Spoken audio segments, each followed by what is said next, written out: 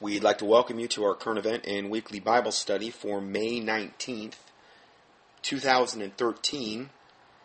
And today, pretty much a study, although it's current events pretty much, a study pretty much dedicated to the Pope, Catholicism, and the interplay there, then segueing into Islam and how this all ties together. Also talking about how the United Nations now is becoming integrally interlinked with the Catholic Church, particularly with this new Pope that they have. So the first report we have is Pope, a global spiritual leader, proclaims UN leader Ban Ki-moon. And here we have on the basically the first page of the PDF. It's a 22 page PDF for today, so probably looking at three to four parts. Uh, we have a picture of this uh, Ban Ki moon shaking hands with the new Pope.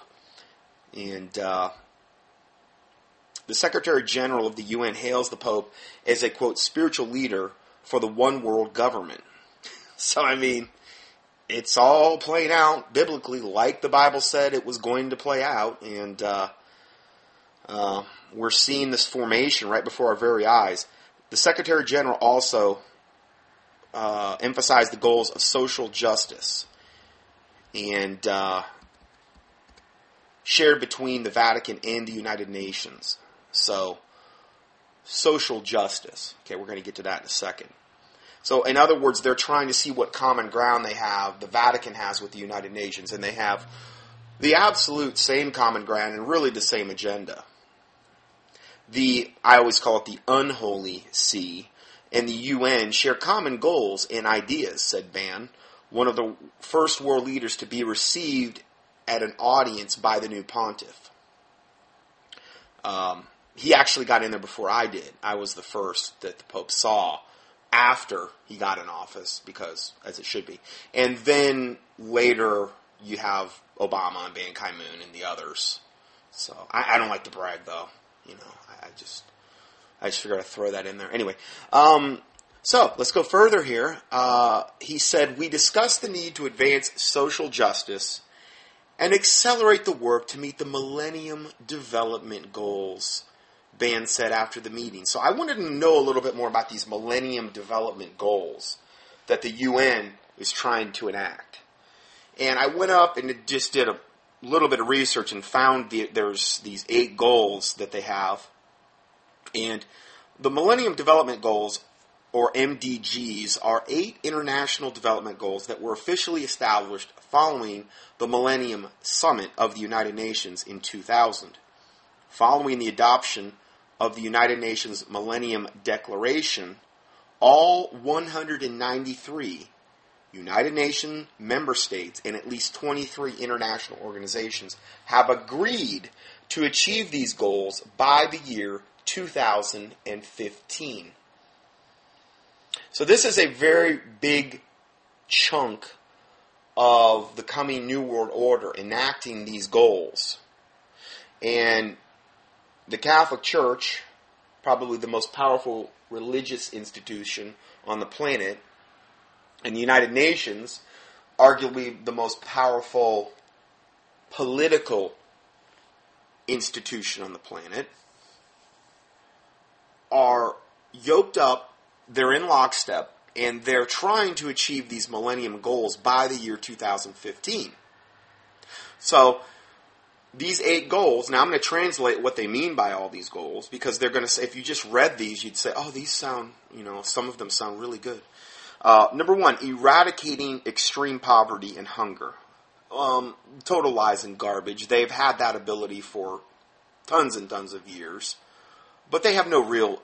They can say that all day long, but everywhere the United Nations gets involved, particularly in third world com- countries, the situation typically only worsens. Okay, they'll let food rot on the docks before they'll actually, you know, bring it in. It's it's a well known fact, and so that's garbage and lies. Number two, achieving universal primary education. Translated meaning they want to brainwash every single person into their way of satanic thought patterns and thinking, and uh, Big Brother bringing in the New World Order. Okay, so that's what they mean by point two. Point three, promoting gender equality. and empowering women. Yeah, right. Um, gender equality, meaning gays, bisexual, transgender, they're all the same. In fact, they're actually more of a privileged status um, than regular uh, people and uh, heterosexual people. So that's what they mean by uh, gender equality. And then for reducing child mortality rates, uh, more unbelievable total lies. As their stated goal has been over and over, you look at the first commandment of the Georgia Guidestones, reduce world population to 500 million. But see, they can't have that as their goal. They're going to tell you one thing, and they're trying to achieve the exact opposite of what they're trying to tell you, at least in this particular case for sure. Reducing child mortality rates, give me a break. What a lie from the pit of hell. They're going to try, they're going to do this through vaccinations and more meds, okay, and other nefarious things they're going to be implementing or are implementing, okay. So they're actually trying to absolutely explode child mortality rates so the kids would die quicker. And this is the whole theme of why we have abortion worldwide. And governmental sponsored organizations like Planned Parenthood and these types of people, Bill Melinda Gates, and, and because they're trying to increase child mortality, they want to reduce world population. They want to reduce it most likely 90 to 95% range. I mean, Georgia Guidestone's 500 million. I mean, we're about, we're over 7 billion right now. You know, you do the math, that's a lot of people that have to die. So these are all total bald faced lies, essentially. Uh, point five, improving maternal health. Again, more unbelievable lies and garbage. That will be done through, I'm sure, vaccinations, which is the primary method that they're going to give us health. But health doesn't come from a needle, and it sure doesn't come from some, some vaccine, many of which are cultured off literal aborted babies and I, am not making that up. They literally are cultured off aborted babies. They're cultured off what they call human diploid cells. If you look it up in the physician's desk reference, there's at least 17 and probably a whole lot more by now. Uh, all kinds of witches brew of garbage they put into these vaccines. They have the capability of putting injectable, um, essentially nanorobots or uh, microchip dust into the vaccines at this point. You don't even know they're there. Uh, aluminum, formaldehyde, which is embalming fluid, squalene, um, uh, mercury, is beyond neurotoxic. I mean, just an absolute total witch's brew. And this is how they're going to help with child mortality rates and maternal health. Uh, which again, it's all total lies, the exact opposite of what they're trying to really achieve. And then combating HIV and AIDS, which is one of the biggest killers, particularly in Africa, um, and also malaria. They're going to combat malaria and other. No, they, they want to actually do whatever they can to make these things worse. Because then that will make mortality, uh, lower the life expectancy, kill a ton of people, and these people that are dying are viewed as sacrifices to Satan. That's how the Illuminati would view these people that are dying in mass. Okay? So, um, I mean, Let's just go further. Point seven, ensuring environmental sustainability. Now, whenever you see the word sustainability, it's a buzz, new, new world order buzzword for reducing population. See, we're grieving Mother Gaia, planet Earth, by our mere presence. So what has to happen is we have to be ultimately be herded into cities where she's not grieved near as much, and we can all be controlled that way and herded into these cities um, where we can be controlled, manipulated, killed off, you name it. Because we can't have, they can't have people roaming the countrysides and people out in the wilderness and in the country doing their own thing or trying to, you know, be self-sufficient in that regard. They can't have control over people like that uh, near as well. So, whenever you see the word sustainability, that's what they're basically saying is depopulation and um, a basically New World Order, Big Brother, 1984, George Orwell grid uh, system where you're locked into some type of city and um, uh, you know your ability to travel is basically almost non-existent at that point. That's if if you let things go out. This is the way they would try to uh, work it. And then number eight, developing a global partnership for development, whatever that means. Developing a global partnership for development. Okay, whatever. Um, basically, all getting yoked up all in the same satanic antichrist false prophet playbook is what their goals are. Okay? And so Ban Ki-moon goes on to state, quote, Pope Francis is a man of peace and purpose. He is a voice for the voiceless. Again, more total satanic lies. Um, I post my teaching here that I did on 31713 of this year. And on the table of contents, the first two things I talked about was new pope tied to Argent, Argentina's dirty war. Uh, the guy's got a very long list of, of crimes that he has committed, but at the same time, these crimes, he was faithful to the Catholic Church. He was he did what he was told, and this is the reason why he was allowed to get into the position of pope. All of the popes are absolute total reprobate devils from the pits of hell. And they only got where they got by totally selling out to Satan. Okay, just like the rock stars do, like Lady Gaga and them, you got to sell out to Satan. You, you've got to prove to Satan that you're going to do as you're told. Those are the only people that are allowed to move up, and I also believe that it most likely has to do with their bloodline as well, from a, from an Illuminati standpoint. And then the second point here is accused criminals. Uh, accused criminal becomes the first Jesuit pope. He's also the first Jesuit pope. Also in the in the part before this, this is part two of the teaching for 317.13. I read the, Jesuit, the extreme Jesuit oath of unction, which is the oath they have to take before they become a Jesuit. And it's beyond horrific. So, if you want to hear that, just access part one.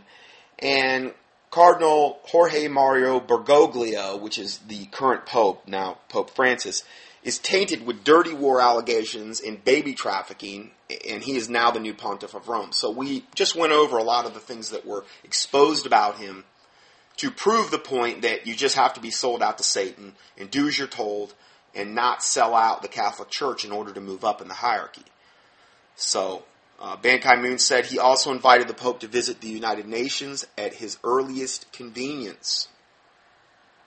Uh, Ban gave the Pope a large book with the Charter of the United Nations in six languages, just so he would be reminded of what the goals of the UN are, which is total world domination and bringing in the New World Order, a one world government, one world political system, one world currency, and one world religious system. Uh, next report: Is the Pope is Pope Francis laying the groundwork for a one world religion? After he was elected, the, t- the cover of Time magazine declared Pope Francis to be the new world pope. That's what Time magazine said. Okay, Time magazine basically a mouthpiece for Satan. Okay, he is he was known as quote the new world pope. Why didn't they just say the new world order pope? That way they could have really got it all in there. Uh, and since his election, Pope Francis has made it abundantly clear that he is going to make ecumenical outreach a top priority. He has spoken of his, quote, determination to continue on the path of ecumenical dialogue, end of quote. And he has already held a number of very high profile ecumenical meetings. Now, ecumenicism mainly refers to initiatives aimed at greater Christian unity or cooperation. It is used predominantly by and with reference to Christian denominations and Christian churches separated by doctrine, history, and practice. There's literally thousands of denominations, of which there's zero Bible for. Zero. Okay? No Bible for denominations, as far as I can see. But there's thousands of these splinter, so so-called, most of them pseudo-Christian denominations. Some of them rank apostate. Some of them, you you could still walk into a church now and get saved in certain denominations. But most of them, I don't believe that would be the case. And what the Pope needs to do is take all of these splinter organizations and unite them. That will be one of the main thrusts of the Catholic Church to get all people that would that would refer to themselves as Christian in any way, shape, or form, and get them all on the same page, so so we can have a one world religion. Now, obviously, they're all going to have to yoke up ultimately with Muslims, Buddhism, Hinduism, whatever, Zoroastrianism, all of those are going to have to get on the same page, but one thing, at one step at a time. These are like satanic baby steps, you know, and um, this is what the Pope is is really working to do right now. So, not only has Pope Francis worked hard to reach out to leaders from various Christian traditions, he has also made it a point to try to acknowledge the mutual bonds that he feels with other religions. See? So, it's not just the Christians, it's all religions. For example, in one recent address, he made it a point to say that he believes that Muslims worship and pray to the quote, one God that he also worships. Well, that's true. They both worship Satan, ultimately, and they do worship the same, and so do Catholics in general. Well, no, no, I don't. I pray to whatever. Whatever saint or whatever. I pray to Mary. I pray to Jesus. You know, you can't have it all those ways. It doesn't work that way. Totally unbiblical in the Bible. The Bible says there's one mediator between God and man, the man Christ Jesus. You know, you pray to the Father through Jesus Christ regarding what the New Testament lays out for prayer guidelines. Uh, don't pray to Allah. You don't pray to some saint that you know whatever. And we're once we're saved, we're all saints. Okay, it's not like what the Catholic Church deems a saint, and then they're canonized afterward. You know, after they've proven this and after they've died. All a bunch of total lies, garbage that has no biblical merit, no basis in the Bible at all. But you know, they kind of make up the rules as they go. So, um, he is basically saying the Muslims worship and pray to the same God that he does, which is true. And this, all roads lead to the same God philosophy, is a hallmark of the one world religion that the global elite have been slowly building toward for decades. The global elite know that even with that even with a one world economy and a one world government, humanity will never be truly united until there's a single global religion. See, the religious aspect is really the linchpin. Because most people worldwide, the vast majority, are not atheists. You know, they believe in some whatever God they're worshiping.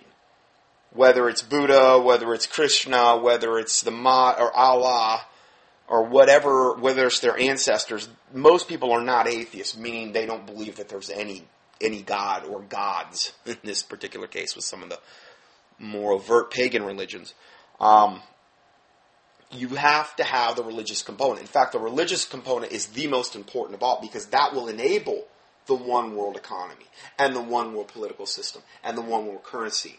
The, reli- the religious aspect is the absolute linchpin for the other stuff to happen. And this is why the Antichrist and the false prophet have to come with all signs and lying wonders and with all miracles, whereby which they will deceive, if it were possible, even the very elect.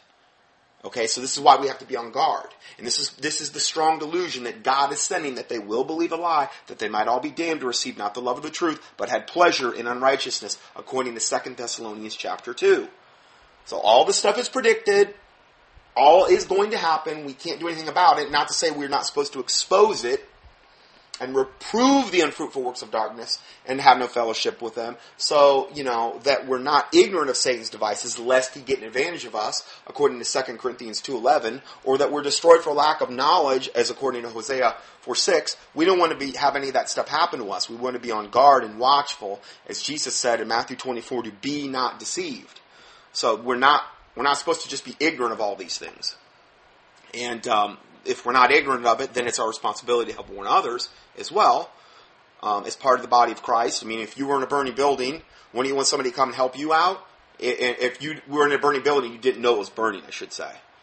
And you'd want somebody to come and help you, right? Well, this is all I'm talking about here, just helping people to, to see this. Uh, and it's so obvious what's going on here. So let's go further here. And all confirms what the Bible says. Um, so, unfortunately, this one world religion that they are seeking to establish is diametrically opposed to the Christianity that we find in the Bible, as I just said. By throwing out biblical truth for the sake of friendship between men and women of different religious traditions, Pope Francis is fundamentally betraying the faith that he claims to represent. If there is going to be a one world religion, there will have to be a bond formed between Roman Catholicism and Islam. This is very important. Why? They are the two largest religious traditions on the planet. So it's a big deal for the New World Order to get Islam and Catholicism, or well, false Christianity, on the same page. It's a big deal, you know. Um, And there's going to have to be a lot of uh, supposed supernatural events that take place in order for that to happen. There's no way you're going to put the leaders of the Christian faith and the leaders of Islam together in a room and have it hash it out. And, and they're going to come out all holding hands singing kumbaya. Not going to happen. No way. Okay, there's got to be things happening on a mega supernatural level and plane for them to all get on the same playing field and and admit that they, you know, all worship the same God or whatever. Because right now that we're not even close to that. But the right things happen from a line signs and wonder standpoint, that will happen, and, and I believe this will probably happen nearing the end of World War III that will take place primarily in the Middle East. Obviously, Israel and her allies against the Middle East and Islam. And probably out of the ashes of World War III will emerge this false prophet and Antichrist. And most likely these ascended masters that I've mentioned that will try to reconcile all the world religions together and get everybody on the same playing field. And a lot of that will be through line signs and wonders and miracles the Bible says that because of these signs and lying wonders and miracles, that they will deceive the whole earth. That's the primary means by which the Antichrist and the false prophet, false prophets, and anyone or any entities they're working with, because obviously we're dealing with Satan, fallen angels, demons, devils. Okay, they're the forces behind these things. Um, there's going to be a ton of that, and that's why I keep harping on that point because that's going to be the chief reason why people fall for this. It's not going to be because somebody convinced you cleverly. You know, it's going to be from all these these false signs and wonders going on. So let's go further here. Um, so these are the two largest religious traditions on the planet. So any truly global religion would definitely require the participation of both of them. That is one reason why Pope Francis has already had to say about Islam is so noteworthy. The following comes from remarks that he made during his very first ecumenical meeting. He said, quote, I then greet and cordially thank you all, dear friends belonging to other religious traditions. First of all, the Muslims. The Muslims, who we're going to discuss at length um, for really the remainder of this particular teaching after we get through the Catholicism stuff. First of all, the Muslims, who worship the one God, living and merciful, and call upon Him in prayer. So this blasphemous devil from the pit of hell has the audacity to say that Muslims who worship Allah, who is the moon, pagan moon god, and has always been the pagan moon god, has, has the audacity to equate Allah, this fallen angel, with the God of the universe the Lord Jesus Christ, Father God. He has the audacity to equate them. Then he goes on to say, I really appreciate your presence. In it, I see a tangible sign of the will to grow in mutual esteem and cooperation for the common good of humanity. Yeah, the common good. That's why the Quran says all the unbelievers will burn in a must be beheaded and will burn in a hell, and Allah will put them there and you know kill the unbelievers, deceive them, slay the infidel, kill them, martyr you know martyr yourself, and you have seventy two virgins because they're they're trying to to really shoot for the common good of humanity. They're they're doing that all out of the goodness of their own wonderful hearts. So and then it goes on to say, but Allah and the God of the Bible are not the same. For example, Christians believe that Jesus Christ is God. Muslims d- deny this vehemently. For much more on why Allah and the God of the Bible are not the same, please see this article. There's a link you can click on there. Or you can just go up to my website and key in Muslim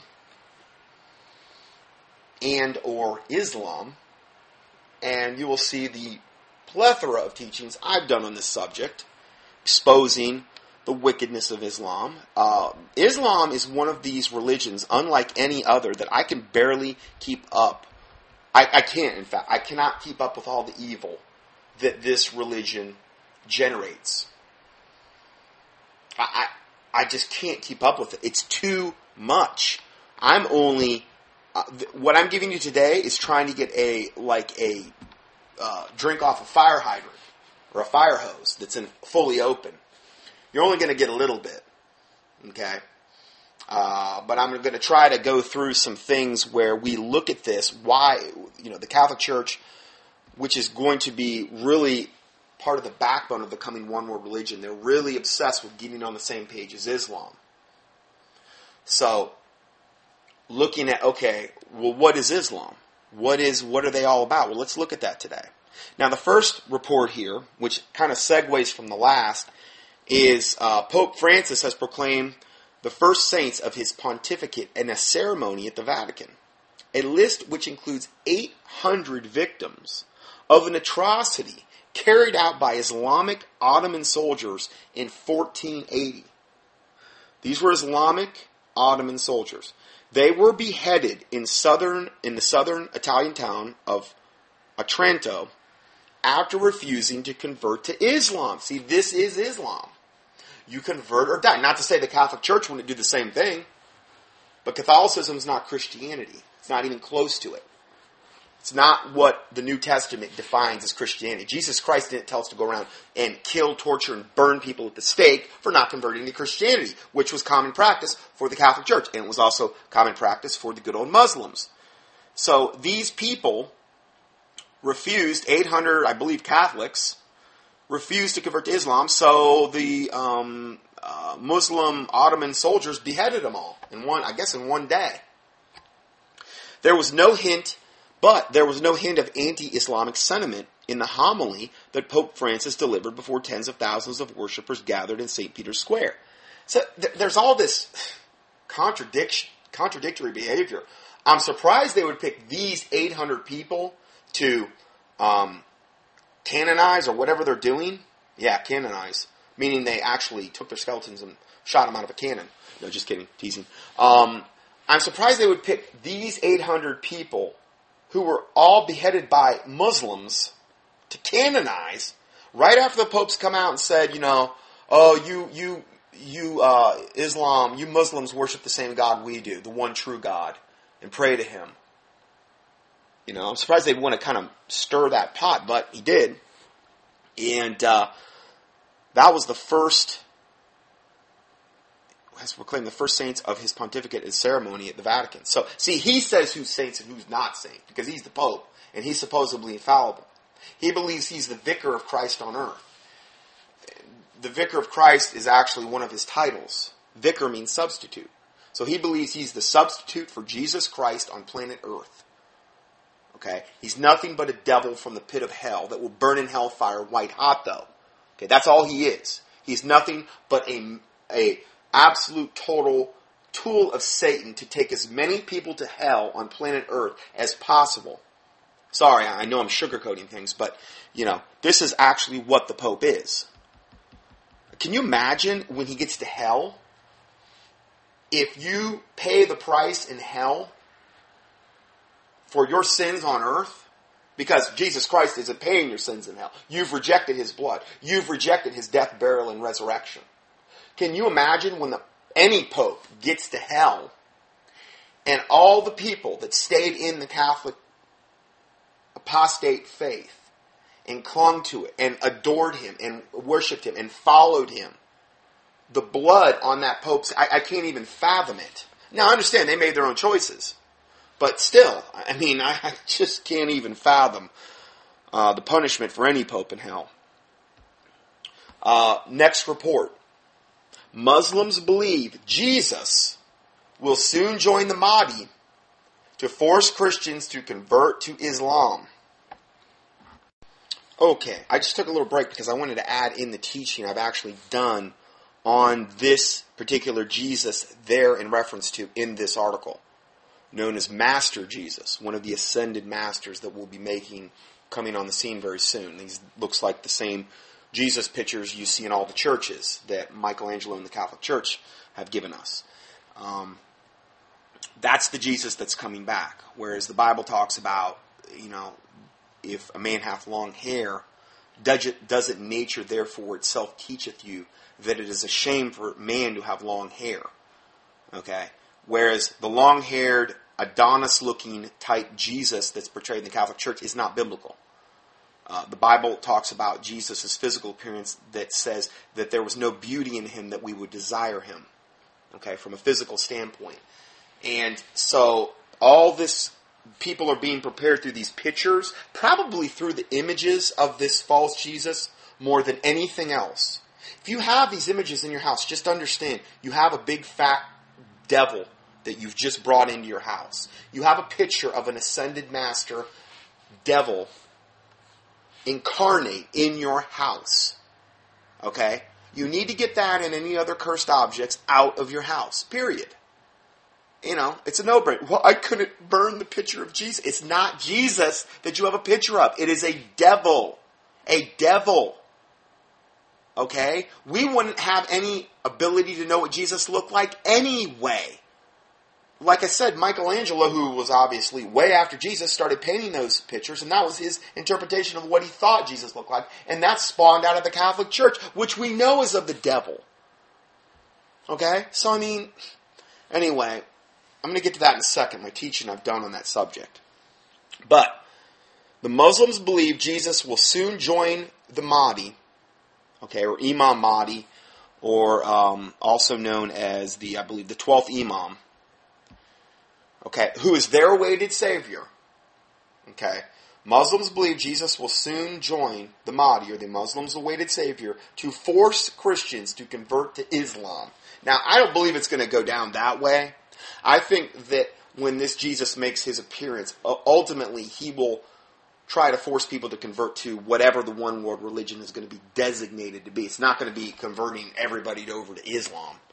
Okay? You have to understand, the Muslims believe certain things, the Christians believe certain unbiblical things, the Buddhists believe totally unbiblical things. People have a lot of false conceptions of what they believe is going to happen in the future. I'm not saying all Christians believe the false thing, but I'm saying a lot of them do. So, contemporary Muslim apocalyptists have borrowed from their Christian counterparts to discern the dates regarding the Antichrist's arrival, said David Cook, an expert on Islamic eschatology and associate professor at Rice University. Um, at Rice University, you have to eat rice every meal. It's really weird. Kind of a culty thing. Anyway, just kidding. Um, he says there are Muslim apocalyptic readings of the book of Daniel, Ezekiel, and Revelation. Muslim apocalyptic readings. That's pretty creepy. Um, and he goes on to say the only difference is the good guys are the Muslims, not the Christians. Well, of course. The Muslim Jesus destroys the cross and converts the Christians to Islam. I think this ascended master Jesus will destroy the concept of the cross.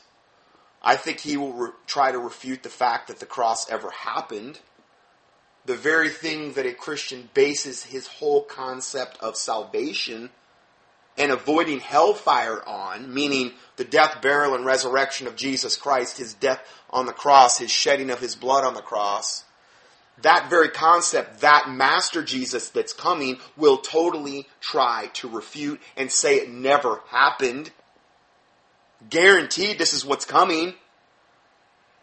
He's sure not going to point people to the true Jesus Christ of the Bible. He's a counterfeit. And Satan always has his counterfeits. In fact, they're going to go one better. They're going to bring back, and they're and they've already said they were going to do this. Okay, through channelings, through what the uh, alien abductees have learned, through people that have channeled devils and demons and supposedly uh, communicated with these ascended masters. What they're going to do, one of the first things they're going to try to do is rewrite history and say this is what actually happened at the cross. Okay? Jesus wasn't even present. He was whisked off the cross and actually married Mary Magdalene. And then they moved up into the, uh, this is called, this is how they said the Merovingian bloodline got started. This is the whole concept for the book Holy Blood, Holy Grail. And I believe having to do a lot with this Da Vinci Code and all of these other blasphemous things that Hollywood is trying to give us. To totally destroy your faith so you can't get saved. And there's going to be millions and millions of people that buy it. Now, all the lukewarm Christians, they're not even saved. They're going to totally buy into all this. Maybe some will escape. I hope they do. And that's why this ministry exists. To, you know, hopefully guide them through this these landmines that are out there that most of them haven't even gone off yet. these landmines. This one that I'm talking about, when the old ascended masters and the Antichrist the false prophet make their big debut, these haven't even happened yet.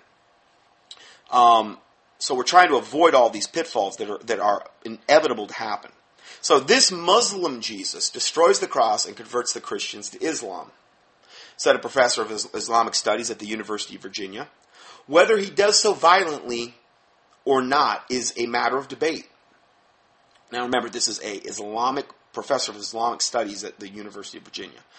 In Islamic tradition, Jesus is joined by a figure named the Mahdi, or Imam Mahdi, or the 12th Imam, who helps subdue Satan right and rid the world of corruption and injustice. This is their version, okay? And this is why jihad for a certain sect of Islam exists. Because they believe only through mass bloodshed and pretty much the extermination of the Jews will they bring about the Imam Mahdi. You know, could you imagine if Jesus told us that before he left regarding it's like his second coming? He's like, well, um, I know I've taught you all this stuff, but you're going to have to go out there and just just destroy and kill as many unbelievers as possible if you want me to come back. I mean, I'm sorry, guys, but I, I know I said what I said in the Gospels and all the other, but you know, put that aside. You're going to have to go out and butcher as many infidels, as many unbelievers as possible if you want me to come back. That's the catch. Can you imagine if Jesus Christ, the Bible said that? but this is what their awaited Savior said, okay? It's, it's just good fruit. I mean, come on. We, we can't argue that it's just good, fun fruit. So, yeah, this is, uh, Jesus is coming back with the Imam Mahdi, and he will help subdue Satan and rid the world of corruption and injustice. Now, done many teachings on this subject. If you key in, there's a, well, actually, key in Mahdi, M-A-H-D-I, in the search box at contendingfortruth.com, or just, I already have a link for you here. You can click on, it'll take you right to that search page on my website. Um, and uh, you can hear more about it because that's too large of a subject for me to cover.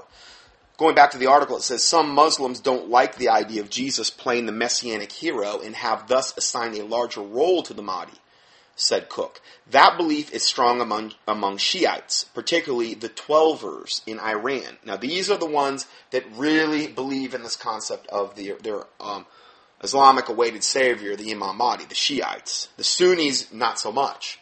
So, the Shiites, particularly the Twelvers in Iran, I'm going to explain that in a second, where President Ahmadinejad has often spoke of the Mahdi's return, and he believes he's going to be integral in bringing about their awaited savior, the 12th Imam, uh, President Ahmadinejad of Iran. So, Twelvers believe the Mahdi is the 12th Imam, hence their name. A descendant of the Prophet of Muhammad who has been hidden since the 9th century in some kind of well he's been in some kind of well. I guess he's really soggy by now. I mean, he's been in there since the 12th century, that's a long time to tread water. You know what I mean? It's crazy. Anyway, um, so in addition to Iran, faith in the Mahdi's imminent arrival is widespread in Afghanistan, uh, Iraq, Turkey, and Tunisia, according to a 2002 Pew Research Center poll. So now, let me just talk a little bit more about this whole concept of Master Jesus, because I believe this this thing alone is going to deceive more Christians than any other deception that there is because they're so locked into the fact, though they may not even be thinking about it right now, but they're so locked into the fact that that's the image of Jesus, and if I see some dude that looks like him, that's Jesus. Yeah, but the, even the Bible says if we or an angel from heaven come preaching any other gospel, than is in the New Testament, essentially, let him be accursed. Okay? So, this Jesus will not be preaching the gospel of the New Testament at all. It will be diametrically opposed. He will be doing everything he can to um, destroy your faith, to get you to doubt the Word of God, the King James Bible in the English speaking language, and that's going to be his primary goal to totally steal your faith and to destroy you and to get you to follow him. So, I did a teaching. Um, it's called Deception Afoot, Matt Maitreya and Master Jesus, who's also known as Esau Immanuel Sananda. Okay, that's his, I don't know. Ascended Master full name, but Master Jesus for short, anyway. Share International, who is the website that promotes, promotes Maitreya as the as the coming one world savior, uh, the coming the the awaited savior at all five different major religions of the world. He calls himself Lord Maitreya. I call him Devil Maitreya. Share International, which is a United Nations sponsored website, only one out there that actually promotes him uh, promotes uh, Maitreya as the coming awaited savior. He says he's the the Krishna to the Hindus, the fifth Buddha to the Buddhists, the Imam Mahdi to the Muslims, the Christ to the Christians, and the Messiah to the Jews. Okay, so Share International is now advertising Maitreya's emergence on the History Channel, on Rush Limbaugh, on Nancy Grace, on Anderson Cooper 360, and the Wall Street Journal. Now, I, I either listened or saw all of these personally. Okay, they were actually advertising him to make his big debut really soon. Problem is, is it's only going to happen when God permits it to happen. Okay, so the Lord's up there, and he's like, and, and devil may have all kind of plans. He's wanting it. He's chomping at the bit. Hey, if the devil had his way, 1984 would have been a reality with George Orwell. Would have would have all been in this Big Brother society by 1984. Well, obviously, it wasn't God's timetable, and Satan has to do what God permits him to do. And Satan's always trying to run ahead and run ahead and get it and get this all, the, get the whole satanic ball rolling and get the whole new world order going. And God's like, no, it's going to be in my timing. So they were advertising Maitreya, his, his emergence on, I mean, History Channel, Rush Limbaugh, Nancy Grace, Anderson Cooper 360, yep, Wall Street Journal, yep, absolutely. Maitreya seems to have a strangely similar share and save the world peace agenda to that of purpose driven pastor Rick Warren, with his global PEA CE plan. They all, and it's like these new millennium goals that we just talked about in the United Nations.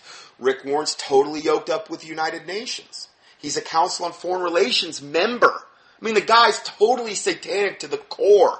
Okay? Rick Warren, to what the Pope is to the Catholic Church, Rick Warren is trying to be to the pseudo Christian non Catholic Church. Okay? They're both at the spear tip of this coming one world religion, and by um, and taking all of these 501c3 corporate institutions, which almost all these denominations are, and getting them all into the same on the same train, going down the same track, which ultimately ends up in hell.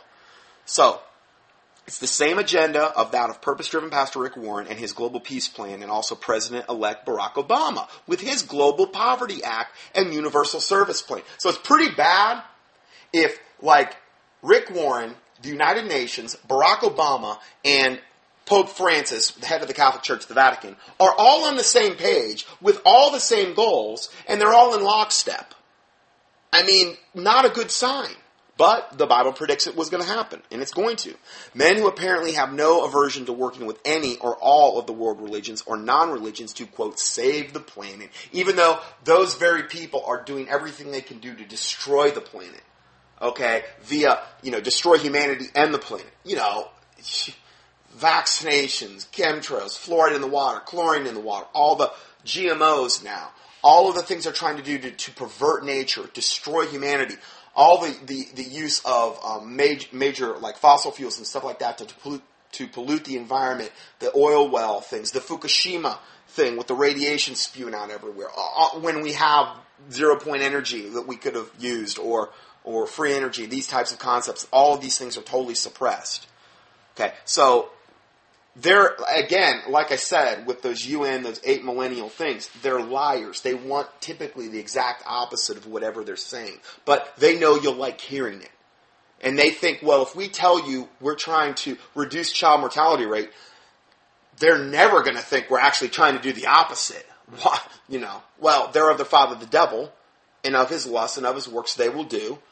You know, he comes to kill, steal, and destroy, and that's their that's their thing. And to deceive. Well, that's their whole premise. They're trying to keep everybody deceived.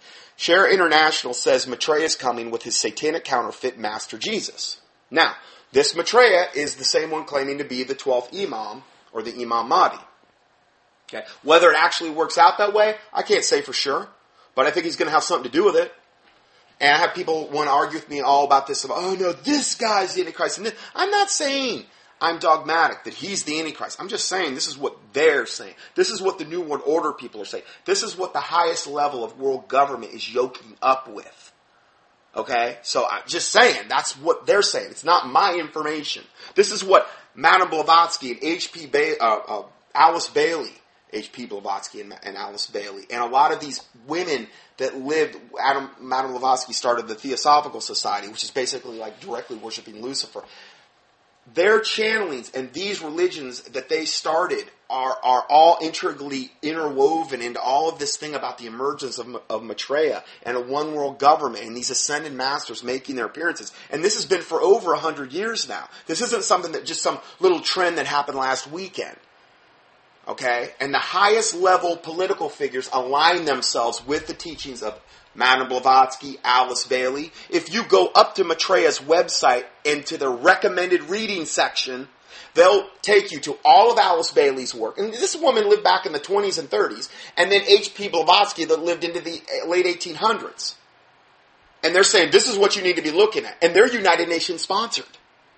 Okay? Again, not my research, not my stuff. I'm just telling you what they're saying. They're going to have some part in this end time delusion and scenario. And, you know, just because Maitreya says he's going to make his emergence and it doesn't happen, does not mean that God hasn't thrown another monkey wrench into that whole thing and prevented Satan from doing this. It's not his time yet. God's long suffering. He's had mercy on us. He's given us a lot of time to prepare that I didn't think we were even going to have. So, he's trying to get, I believe also it has to do with souls being saved. So, going further, um, so, Share International, the United Nations sponsored website that promotes Maitreya through his false prophet Benjamin Creme and through their magazine, says Maitreya is coming with the satanic counterfeit Master Jesus. In collaboration with and Maitreya and Master Jesus is deeply interested in unifying the religious thought of East and West, meaning all religions. Okay? This is what they're deeply interested in a one world religion. Okay? According to the plan, this will lead to a one universal church uniting all people into one humanity. I mean, this is exactly what the Bible predicts. And I don't know of any higher stage on the planet than the United Nations where, and uh, you know, obviously the other things that we've mentioned, where they're all saying the same exact thing at a very high level. It's not like some sect of the Mormons is saying this. This is like, you know, United Nations and, and the, the, some, the Illuminati, the highest level in the Illuminati are, are in league with this. So it is forecast that Master Jesus will yet occupy the chair of the Pope of Rome. Whether that happens, I don't know. Okay? That would kind of throw a monkey wrench into the whole St. Malachy prophecy that Tom Horn's giving out because then that would mean there would be another pope. Maybe they'll maybe he'll change his name at that point and he won't call himself Pope. Maybe he'll call himself whatever. Grand Poobah of the universe. Who knows? Anyway, and that from that seat, Master Jesus will then be able to re-inspire and reorient the whole field of the Christian religion. Who better on planet Earth from a satanic standpoint than some guy that shows up looking like all the pictures the Catholics gave us with the Adonis looking long hair hippie Jesus. He shows up and all of a sudden he wants to re-inspire and reorient. In other words, rewrite scriptures, destroy your faith. Uh, the whole field of the Christian religion. What better way for Satan to deceive Christians than that? There, I can't think of a better possible way. And they've been saying this for decades and decades that this is how it's going to go down. And then it says the Christian religion diverting it from its present political and temporal trends toward a more spiritual approach. Actually, should say toward a more satanic approach.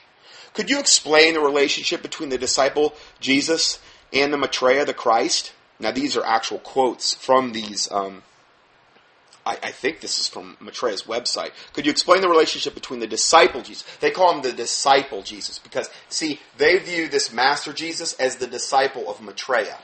He's just a little little bit player in the whole thing. He's not he's not the God of the universe. He, he's not no, he's none of that. He's actually subservient to Maitreya. They actually go so far as to say that when Jesus Christ went into his ministries the last three and a half years while he was on planet Earth, that the reason that he had the power to do what he did with the miracles and all the stuff was because Maitreya came in spiritual form and overshadowed him or essentially possessed his body and gave him the ability to do the miracles that he did on planet Earth. So they even give the whole thing, the whole ministry of Jesus Christ and everything that he did, which they will warp and pollute, obviously, they're going to give all the credit to Maitreya because he was the power source for it all. What, what better thing if you were Satan to do than that? That would try to destroy someone's faith. Um, so again, I'll confirm that. Could you explain the relationship between the disciple Jesus and Maitreya the Christ?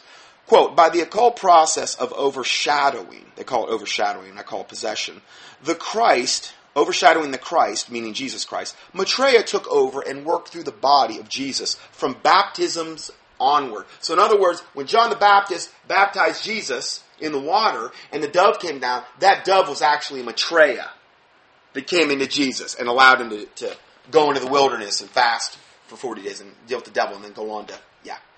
Yeah. They have that much audacity and blasphemy in their satanic hearts. Anyway, I wanted just to touch on that because that's a really big, big, big deal issue that I would almost guarantee you you're not going to hear in probably any church in America, hardly any church in America, if you go.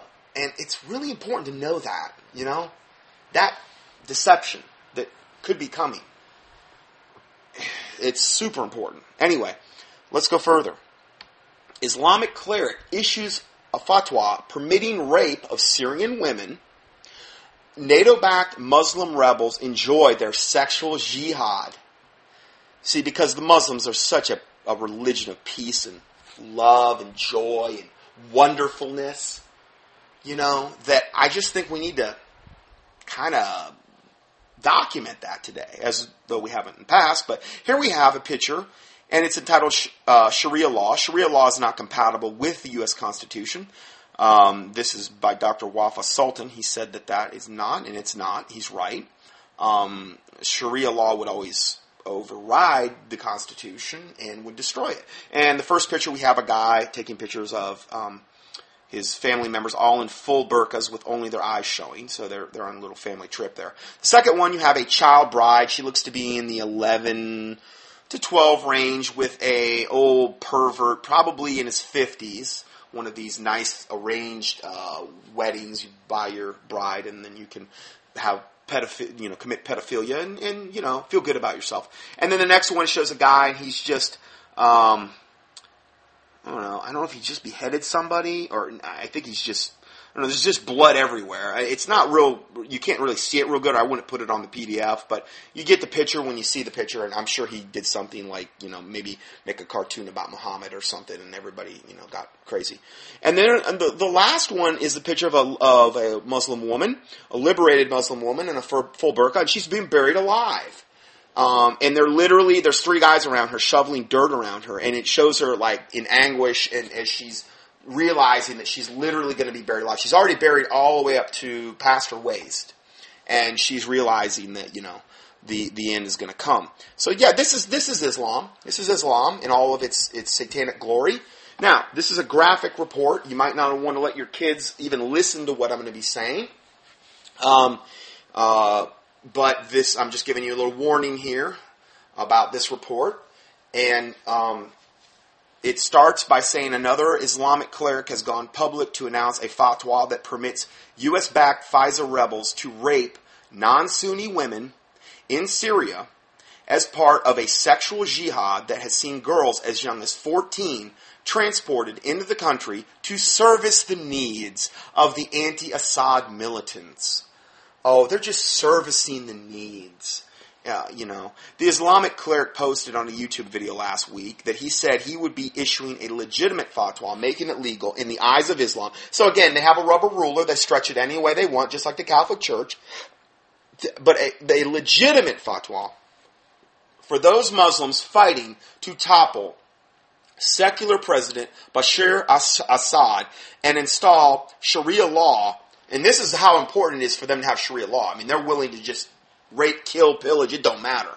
But, and to install Sharia law to, quote, capture and have sex with all non Sunni women, specifically naming Assad's own, President Assad's own sect, the Alawites, which is the sect of whatever, Islam, I guess that he is, as well as the Druze and several others, basically all non Sunnis and non Muslims, so that they can have, um, capture them and have sex with them. You know? Can you imagine if the Bible said that? I mean, but no, it's okay for the Quran to say it. it it's, it's, it's, it's, it's because they're a religion of peace. Um, as CNS News reported last week, girls as young as 14 are being sent to Syria from other Middle Eastern and North African countries. So they're actually being sent to Syria from other Middle Eastern and North African countries, following a call by the Saudi scholar Sheikh Mohammed Al Arfi for rebels to engage in a sexual jihad. Now, jihad is holy war. That's what, what it means. So this is a sexual holy war. Okay, so I, I guess that you know that makes uh, perfect satanic sense. I guess a so-called quote temporary marriage that amounts to little more than sex slavery. See, these sick, debased, perverted eh, Muslim men can go in and like I told you about the story about Khomeini, where he went in, one of his followers was there, and he walked in the door, and, and I guess he had been there, uh, known this guy or whatever, devoted follower of Khomeini, the uh, Ayatollah Khomeini, in Iran, walks in the door and sees his three year old daughter and instantly takes a fancy to her. And then asks the father later, hey, you know, I want to have a temporary marriage with your daughter so I can have my way with her tonight. And um, the the wonderful, wonderful protective dad agrees happily and, and feels as though it's an honor to give his three year old daughter to good old perverted maggot Ayatollah Khomeini, um, this you know, disgusting pervert from the pit of hell, and goes in there and has his way with the three year old the whole night. And um, here's her screaming, and the, the, family's listening to her scream, you know, and stuff. The, the, the basically the whole night, and and he's basically torturing her and raping her and all this stuff. Who who knows what he did with her? And then you know comes out the next morning, has a nice breakfast, and then goes his merry way. That is Islam or the Dancing Boys of Afghanistan, where, and if you don't believe about that, just key in Dancing Boys of Afghanistan, or I'm sure if you do it on YouTube, it'll start to key in before you even, it kind of starts to fill in the blanks for you.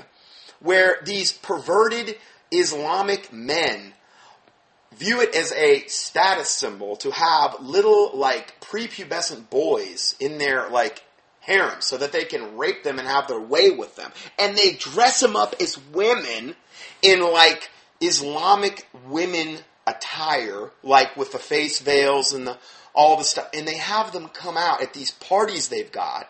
And I mean, you see the parties. There's all these Islamic guys around drooling over some little boy dressed up like a woman that comes out and dances Islamically seductively. And then the men bid whoever has the most money essentially gets to take him home or buy him. And there's, and these are, there's like whole legions of these little boys that have been bought and are being used as basically like sex slaves by these sick, disgusting, depraved Muslims that do this. That is Islam.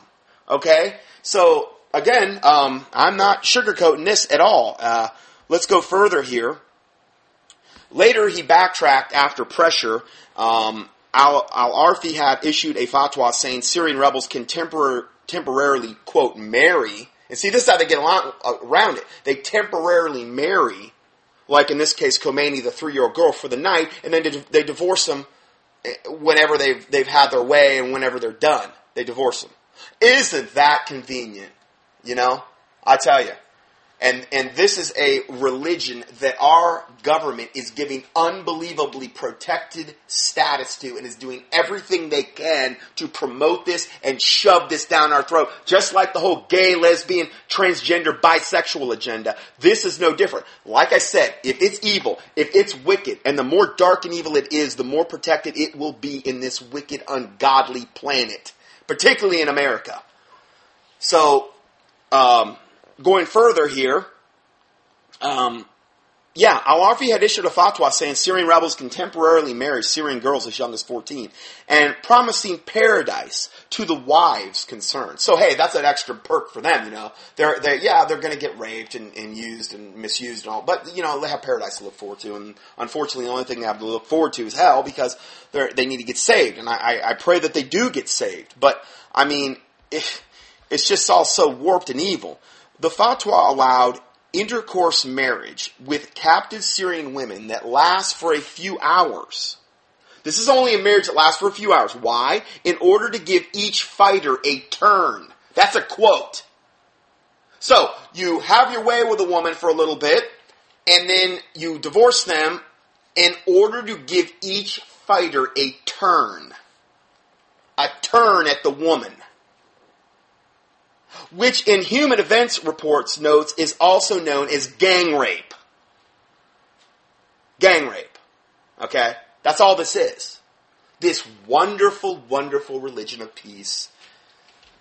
Egyptian sheik, uh, could you imagine if the Christians were doing this anywhere on the planet on any scale at all? Like openly, like this? I know there's a lot of garbage that goes on in, in a lot of Christian so-called churches. Catholic Church being the chief you know, pedophilia and all that garbage, and I promoted that. But I mean, these guys are doing it right out in the open. You know how the press would would I mean absolutely, but no, no, no, no. This isn't mentioned. Egyptian sheik Ishaq also once urged infidel captives to be taken to the slave market, where slave girls and concubines are sold and distributed amongst the jihadists, evidently for their pleasure um, then he says, quote, you go to the market and buy her. She comes, she becomes your legal mate through a contract, a guardian, or any of that stuff. Now, this is a quote from this from this Ish, Sheikh Ishaq Huwaini. So you go to the market, you buy her. She becomes like your legal mate, though without a contract, a guardian, or any of that stuff. Can you imagine going to the grocery store and they have like an aisle for women, and you just go there and buy one you like? And she just becomes your legal mate for whenever, whatever time you want that to be, and then you divorce her. So, in other words, when I want a sex slave, I go to the market, I pick whichever female I desire, and I buy her. End of quote. you know, women's rights couldn't ask for a more loving, merciful, giving, I, I don't even know what, what adjectives I, to use. Who could want more as a woman than, than this, to be treated like this? Now, this is true liberation, women. We need to, you need to all be standing up and screaming Allah Akbar, and I'm just kidding, obviously, and just, you know, praising Allah for his, his loving, merciful kindness for women worldwide. You know, and, again, you know, obviously all sarcasm, but um, yeah, this is this is basically what we're dealing with here. I mean, this is this is fun stuff. While innumerable reports of FSA militants raping Syrian women have been ignored by the mainstream media, of course, of course, because anything against Islam is is not politically correct. I mean, this is a protected class. I mean, you know, Anyway, the Atlantic Wire today claims that a mere 1% of all rapes in Syria are carried out by opposition fighters, and that the vast majority are committed by regime soldiers, the guys we're talking about here, despite evidence that Assad troops have reportedly, repeatedly been ordered not to sexually molest women. In other words, Assad, the guy they're going against, have, their troops have repeatedly been ordered to not sexually The other ones, the hardcore Islamics, the jihadists, they have been repeatedly ordered to rape the women and have temporary marriages and rape and pillage and do whatever they do. Syrian girls are also being raped by Jordanians in refugee camps as well. Men, usually from Saudi Arabia and other Gulf states, are given free reign at the camp. Oh, isn't that wonderful? Coming in the guise of benefactors, offering charity. In return, many want a wife um, reports Channel 4 News. But these marriages of convenience for the men at, are, are, are marriages of convenience for the men at least. So-called pleasure marriages they give cover a sheen of respectability to what is often wealthy men exploiting vulnerable women or children for sex. What also happens with these temporary marriages? Okay. Uh, think about this. How many girls are probably pregnant after this all happens, discarded like trash, impregnated. She don't have any, and she's disgraced. She could be easily killed under under Sharia law as being a whore or whatever, even though she was the one that was raped. Hey, you know, did you know this? That under uh, Sharia law, it takes four, if you accuse any man of rape, you have to have four witnesses, Islamic witnesses, men, that will co- corroborate your story. And you know how often that happens? 0% of the time. That's true. Even Sean Hannity says that on his show. You know, as, as Catholic, uh, as Catholic as that guy is, and as much of a tool for the New World Order that he is, he even brings that up. That that you know, a, a woman gets raped, Islamic woman. Well, you, under Sharia law, you got to have four male witnesses um, who are also Islamic to collab- corroborate your story. That, I mean, that's fair, right? What's not to like about that? Okay, so getting back to the main report, it's particularly ironic that extremist Salafist militants who believe their cause is pious and righteous. That's that's what's even better about this. They believe that what they're doing is they're like sanctimonious in an Islamic way. They're pious, they're righteous. They're holier than thou. They're doing Allah's work. Well, they are. I mean, because Allah is the, the fallen angel moon god who's of his father Satan. And I guess, you know, they really are. They are the right hand of Allah. Anyway, they're pious and righteous as they beheaded prisoners while screaming Allah Akbar in anticipation of their 72 virgins and white skinned boys, because you gotta have the whole dancing boy of Afghanistan thing in there and the whole paradise thing, which is really creepy. Um, they are still being labeled as freedom fighters by the mainstream media, even as they gang rape children and commit a plethora of other atrocities. See, I, I love exposing Islam because they come off like they're so much better. And us dirty, disgusting, infidel, non-Islamic people and how they look down their nose at us. And yet it's okay for them to do all of these atrocities in the name of Allah and they come out smelling like a satanic rose evidently is what they think. They're going to have a real surprise when they plunge into hell. And this extremist Muslim support for making rape acceptable in Syria and elsewhere is by no means an aberration. And um, the only aberration seems to be the United States' wholesale support for these professed rapists and terrorists, quite laughably, in the name of democracy and political correctness, which is very true. So I'm going to go ahead and end part uh, one there, and we're going to go to part two next. God bless you. Scott Johnson's weekly audios are available for free 24 7 on the internet at contendingfortruth.com. That's C O N T N D I N G F O R T R U T H dot com. Please help us continue this work. To support this ministry, our mailing address is Scott Johnson, second line 450 Conover, C O N O V R Boulevard West number 202, third line, Conover, North Carolina 28613. Or on the internet, PayPal can be used at contendingfortruth.com. Thank you, and may the Lord Jesus Christ richly bless you.